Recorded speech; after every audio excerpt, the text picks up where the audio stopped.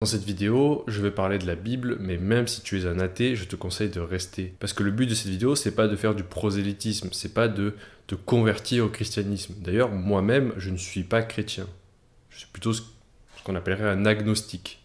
C'est-à-dire que je crois qu'il y a des choses qu'on ne peut pas savoir, qu'il y a du divin, mais je ne crois pas en un Dieu précis. Non, le but de cette vidéo, c'est de te donner un principe qui pourrait changer ta vie. Lorsque j'étais enfant, j'allais tous les vendredis soirs et tous les dimanches matins à l'église. J'allais à l'église et ma mère faisait les cours de catéchisme. Mais pour moi, à l'époque, c'était juste des histoires. Pour moi, ma mère me racontait des histoires, comme le chaperon rouge par exemple.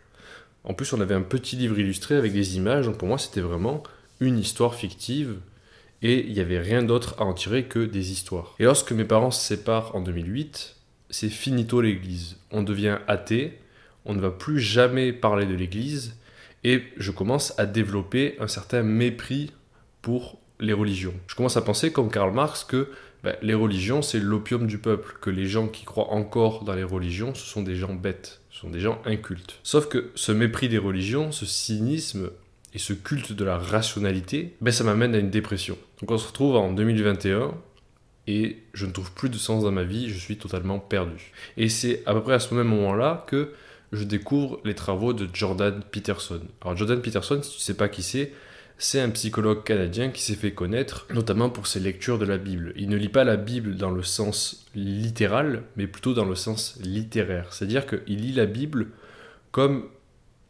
des récits, comme les Mille et une nuits par exemple, comme des récits fictifs, mais qui portent en eux une vérité universelle, une vérité psychologique. Pour lui, en fait, la Bible, c'est un recueil non pas d'événements qui se sont passés, mais plutôt un recueil de sagesse. Et ce n'est qu'en lisant Jordan Peterson que j'ai compris qu'en fait, des choses que je croyais absurdes dans la Bible sont en fait tellement profondes que j'étais trop bête pour les comprendre. Je pensais que la religion était pour les gens bêtes, mais finalement, c'est un autre niveau que je n'avais pas encore atteint. Et c'est du moment où j'ai commencé à lire la Bible avec une approche plus psychologique que j'ai commencé à comprendre des choses qui auparavant me paraissaient totalement absurdes. Comme par exemple, sortez vos Bibles, cours de catéchisme, l'Évangile selon saint Matthieu 25-29. En effet, on donnera à celui qui a, et il sera dans l'abondance. Mais à celui qui n'a pas, on enlèvera même ce qu'il a. Ce verset, il est issu de la parabole des serviteurs. Qu'est-ce que c'est la parabole des serviteurs? En fait, c'est une histoire où il y a un homme qui part et qui donne à ses trois serviteurs chacun des sacs d'or. Le premier, il a trois sacs d'or, le deuxième, il a deux sacs d'or, et le troisième serviteur, il a que un sac d'or. Les deux premiers serviteurs, pendant que le maître part, ils vont travailler pour faire fructifier leur argent. Ils vont travailler, travailler, travailler. Le troisième, comme il a que un sac d'or et qu'il a peur qu'on lui vole, eh ben, il va le cacher, il va l'enterrer. Et quand le maître revient, ben, les deux premiers serviteurs disent ben, Regardez, mon maître, euh, nous, on a fait fructifier l'argent que tu nous as donné, on a travaillé, on a investi. Et voilà ce qu'on a, on a encore plus d'argent. Du coup, on te rend tes sacs d'or. On n'en a pas besoin, on en a encore plus maintenant. Et puis le troisième serviteur, il dit Bah écoute, euh, maître, euh, moi j'ai toujours le même sac d'or parce que bah, j'avais peur de me le faire voler. Et la réponse du maître, c'est que bah, il aurait dû l'investir, le donner à un banquier, et que il reprend son sac d'or, et que c'est tant pis pour lui. Quand tu lis ce verset, tu te dis, mais ça n'a aucun sens, c'est dégueulasse. Je veux dire, la, chrétienté, la religion chrétienne, censée être une religion charitable. Alors pourquoi on a ce verset qui dit que bah, celui qui a moins, on lui prend. Et celui qui a beaucoup déjà, on lui donne encore plus. Pourquoi est-ce que le Seigneur vante les mérites du capitalisme? Pourquoi il vante l'inégale répartition des richesses? C'est la question que je me suis posée à, l'époque où j'avais lu ce verset. Et en fait, ce verset, il énonce un principe fondamental universel. C'est-à-dire qu'il est valable pour tout. Pas seulement pour toi, mais pour tout. Tout l'univers. Ce principe, c'est ce qui s'appelle le principe de Matthieu. Parce que ça vient de Saint Matthieu. En fait, le principe, il est simple. Le principe, il dit que la vie est injuste. La vie, c'est une... Oh putain Voilà, ça c'est dit. Et ce principe, il se vérifie de partout tout le temps. Il n'y a qu'à voir que 90% des Français depuis 2020 ont perdu en richesse, alors que les 4 personnes les plus riches de France ont gagné depuis 2020 114%, plus 114% de croissance.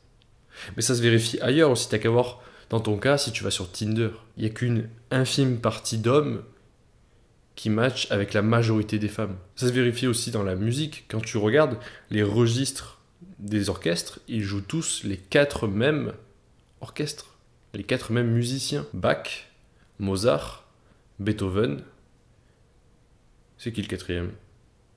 Tchaïkovski. Voilà, ça c'est les quatre les plus joués. Mais parmi ces quatre-là, on joue toujours les mêmes morceaux. Je veux dire, Bach, il a écrit des centaines de compositions, on joue toujours les mêmes compositions.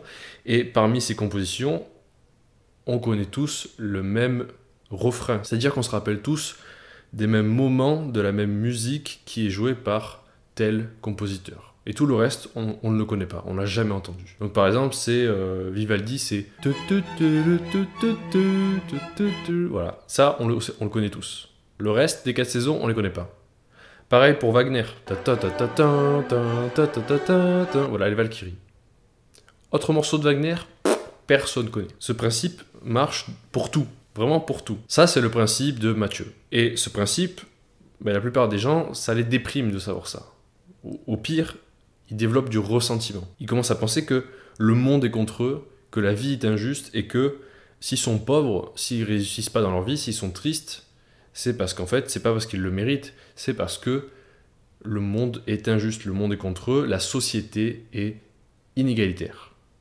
Et je dis pas que la société est parfaite, je pense même que une meilleure répartition des richesses ferait pas de mal. Il y a beaucoup de gens dans le besoin qui méritent pas leur situation. On dans notre métier J'en ai marre Une semaine et demie, comme dit David Tais-toi David, calme-toi Mais on ne peut plus te taire maintenant Là où je veux en venir, c'est que tu peux retourner ce principe à ton avantage. Et c'est ce que j'ai fait, moi, dans mon cas personnel. Lorsque j'ai commencé cette chaîne, il y a à peu près un an et trois mois, j'étais une merde. J'étais un zombie, un petit chauve, qui n'avait aucun ami, aucune compétence, aucune copine, qui ne sortait pas, qui n'avait aucune perspective dans sa vie. J'étais un mec qui passait ses journées à regarder de la pornographie. Voilà.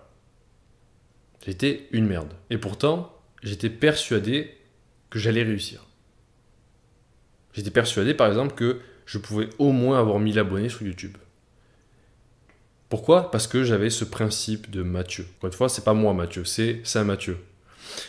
J'avais ce principe dans ma tête qui me disait le plus difficile, c'est de commencer. Parce que voilà les choses comme ça. Le principe de Mathieu, il dit quoi? Le principe de Mathieu, il dit que le plus bas tu pars, le plus difficile ce sera de monter. C'est quand tu commences que c'est le plus difficile. La vie, c'est Dark Souls.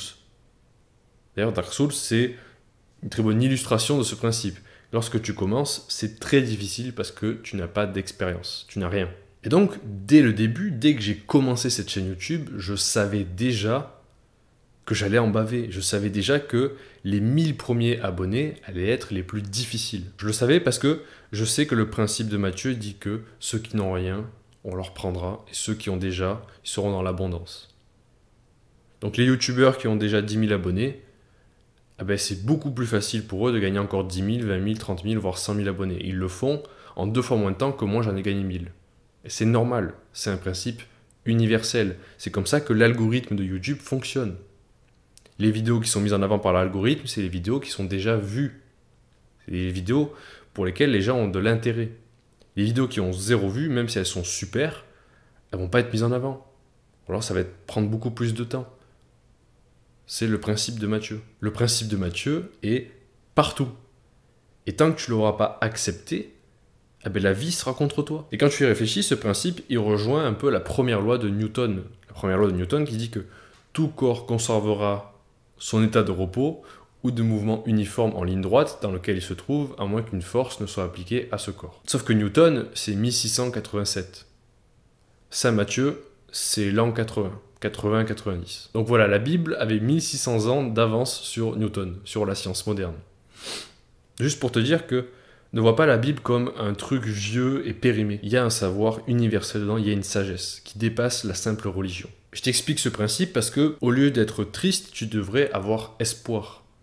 Sache que le plus difficile, c'est de commencer et que toute progression est exponentielle. C'est-à-dire que le plus tu avances, le plus ce sera facile. C'est valable pour une addiction, c'est valable pour le sport, c'est valable pour approcher des filles, c'est valable pour YouTube, c'est valable pour tout. Le plus difficile, c'est de se mettre en mouvement, c'est de démarrer le train. Quand un train démarre, tu as l'impression qu'il bouge pas. C'est super lent.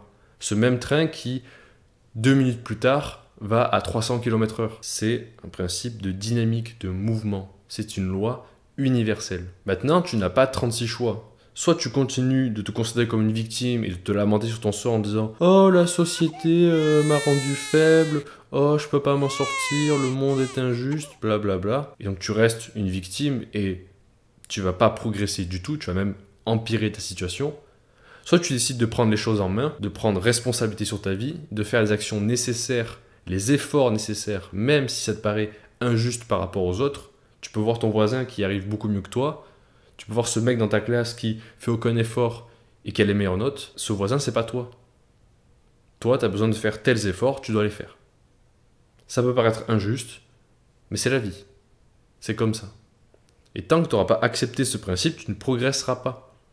Je te le dis, moi, c'est du moment où j'ai compris ce principe de Mathieu que j'ai trouvé le courage et la persévérance de faire des vidéos pendant presque 450 jours avec quasiment aucun résultat. Et je sais qu'au début, c'est difficile. Au début, tu n'as pas beaucoup de perspectives.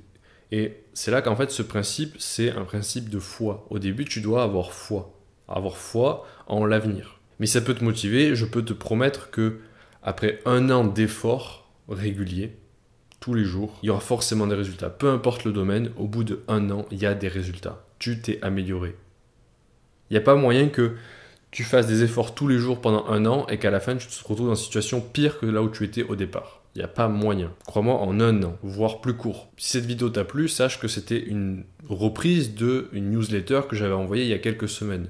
Donc si le contenu te plaît, si cette approche de la vie te plaît, je te conseille de t'inscrire, de t'abonner à la newsletter parce que c'est un petit peu de ça que je parle dans mes mails. C'est beaucoup plus libre, je peux parler de plein de sujets différents, mais si cette vidéo t'a plu, je te conseille de t'abonner à la newsletter parce que c'est à peu près le contenu que je fais. Donc voilà, c'était mon secret, même si c'est pas vraiment un secret, mais c'était le principe qui jusqu'à présent me motive tous les jours. Mais je dois quand même vous remercier parce que même si ce principe m'aide à persévérer, reste que vos commentaires réguliers, vos abonnements, vos likes, les discussions que j'ai lors des appels Discord le dimanche, tout ça, ça ajoute une motivation supplémentaire. Parce que je, pourrais rester encore longtemps tout seul avec ce principe dans ma tête en disant T'inquiète pas, Mathieu, tu vas réussir, tu vas réussir. Il y a eu des moments difficiles pour arriver là. Et je sais qu'en fait, c'est qu'un début. 1000 abonnés, c'est rien du tout sur YouTube. Mais il y a eu des moments difficiles et plusieurs fois, en lisant des commentaires, ça m'a redonné courage.